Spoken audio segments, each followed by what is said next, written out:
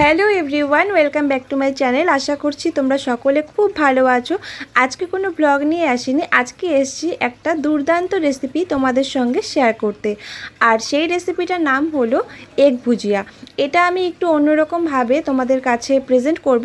আশা করব যে খুব ভালো লাগবে। যদি ভালো লাগে তাহলে কিন্তু অবশ্যই লাইক কমেন্ট আর শেয়ার করতে ভুলো না। আর অবশ্যই কিন্তু আমার চ্যানেলটাকে সাবস্ক্রাইব করে নিও। তো চলো বন্ধুরা দেখে নিই যে এগ ভুজিয়া তৈরি করতে কি কি উপকরণ লাগছে। ডিমের ভুজিয়া তৈরি করার জন্য প্রথমেই যেটা লাগবে সেটা হলো ডিম।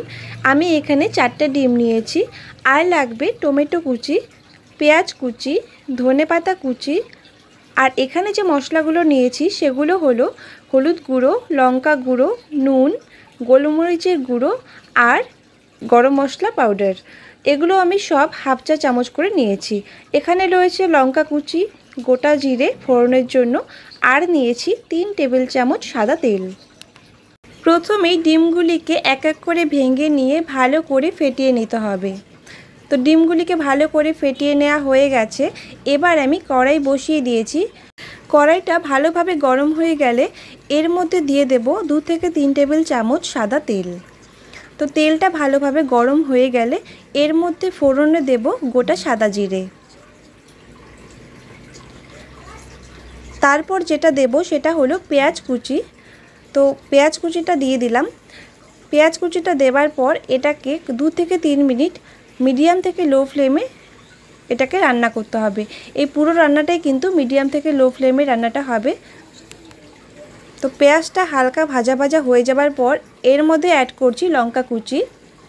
আবার আমরা জাস্ট এটাকে একটু নেড়ে চেড়ে নেব। এরপর একে একে মশলাগুলো দিয়ে দেব। তো প্রথমেই দিয়ে দিচ্ছি লঙ্কার গুঁড়ো, নুন, হলুদ গুঁড়ো আর গরম মশলা গুঁড়ো।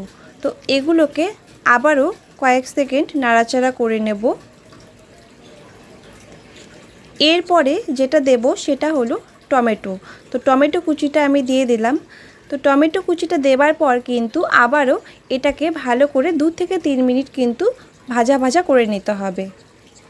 যখন ভালো করে ভাজা হয়ে যাবে তখন আমি এর মধ্যে অ্যাড করে দেব আমি যে ডিমটা ফেটিয়ে রেখেছিলাম সেটা।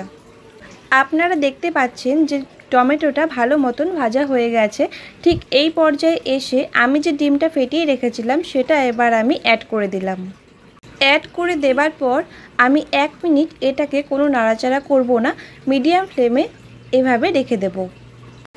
এই রেসিপিটা কিন্তু গরম ভাতে খেতে অসাধারণ লাগে। এটা রুটি বা ভাত দুটোর সঙ্গে কিন্তু আপনারা পরিবেশন করতে পারবেন। এক মিনিট হয়ে গেছে, এবার আমরা ডিমটাকে ভালো করে মশলার সঙ্গে মিশিয়ে নেব। আর আঁচটাকে মিডিয়াম থেকে লো ফ্লেমে রেখে আমরা এটাকে ভালো করে নেড়ে চেড়ে রান্না করব।